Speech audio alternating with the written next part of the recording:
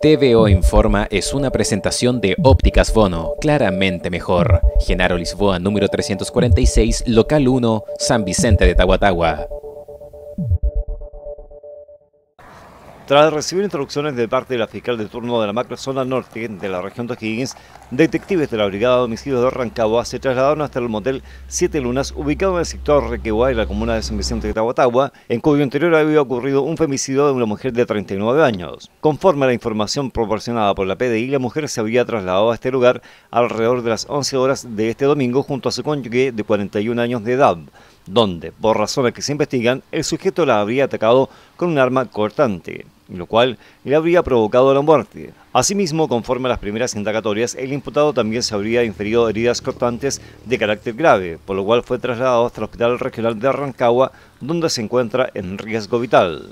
Según información entregada por la Fiscalía Local de San Vicente, el hecho quedó al descubierto luego que familiares del imputado llegaron consultando por él al motel motivo por el que el personal del recinto verificó en una habitación donde su nombre estaba registrado, encontrando al hombre ensangrentado por lo que dieron aviso a la policía. Antecedentes extraoficiales señalan que la mujer mantenía al menos tres heridas cortantes al momento de ser examinada por el personal de la Brigada de Homicidios. De igual modo, se indica que la pareja tenía tres hijos en común. Se mantenía separada, de hecho, hace cuatro meses. Por ahora, la PDI y la Fiscalía se encuentran trabajando para poder establecer la certeza de la dinámica de los hechos y la motivación que habría tenido el imputado para haber perpetrado el femicidio en contra de su cónyuge. La Brigada de Homicidio, eh, en conjunto con el Laboratorio de Criminalística Regional Rancagua y en coordinación con el Ministerio Público, nos trasladamos hasta la comuna de San Vicente de Tahuatahua, a efectuar las primeras diligencias por un femicidio, hecho que quedó al descubierto hoy en horas de la tarde. Bueno, los primeros antecedentes dan cuenta de que la pareja llega alrededor de las 11 de la mañana hasta un motel de esta ciudad y por circunstancias que se investigan, el sujeto ataca, en este caso, a su esposa, provocándole lesiones, que eh, la persona fallece en el lugar. Bueno, el imputado en este momento se encuentra en el Hospital Regional de Rancagua, está con riesgo vital y los detectives se encuentran recopilando información, levantamiento de evidencia, empadronamiento al círculo cercano, en este caso de la víctima y el victimario. Bueno, los antecedentes con los que contamos es que se produjo una agresión el día de hoy en horas de la tarde en el motel Siete Lunas, ubicado en el sector de Requegua, esto en la comuna de San Vicente. Llegaron a ese lugar primeramente familiares eh, de la persona eh, que hasta el momento está detenida, eh, consultando por él. Con eso entonces se alerta a las trabajadoras quienes verifican que efectivamente se había producido una agresión. Víctima e imputado tenían una relación de matrimonio, ellos estaban legalmente casados, pero de los antecedentes que hemos podido recabar se encontraban al menos separados de hecho.